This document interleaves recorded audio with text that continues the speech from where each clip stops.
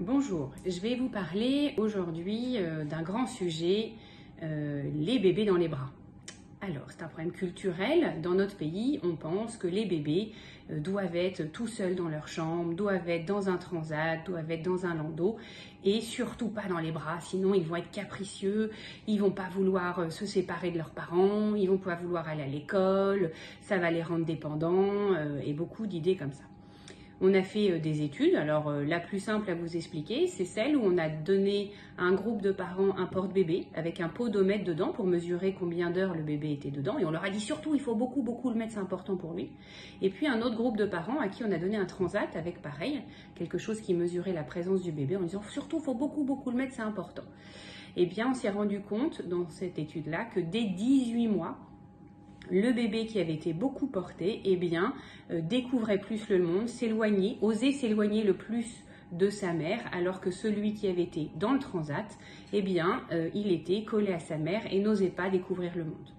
Donc, un bébé, les quatre premiers mois, là où il doit être, c'est dans les bras. La bonne adresse, c'est dans les bras. Il doit être dans les bras de ses parents, notamment de sa mère, les quatre premiers mois, le plus possible plus vous investirez les quatre premiers mois, plus votre enfant sera sécurisé et osera découvrir le monde et donc se séparer de vous et donc ne pas euh, être dans vos pattes quand ils seront plus grands.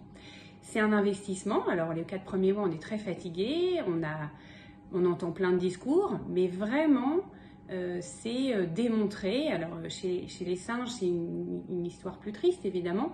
les petits bébés singes, on leur a proposé soit une maman chaude avec des poils et toute douce qui donnait pas à manger, soit une maman en métal euh, froide, mais qui donnait à manger. Eh bien, les petits bébés singes préféraient aller vers la maman chaude et douce, mais se laisser mourir de faim, que d'aller là où il y avait à manger.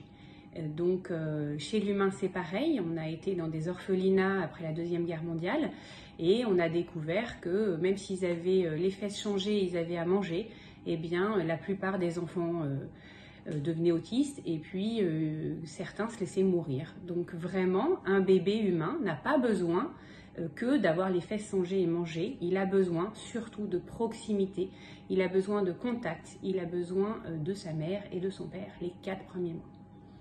Voilà. Merci pour eux.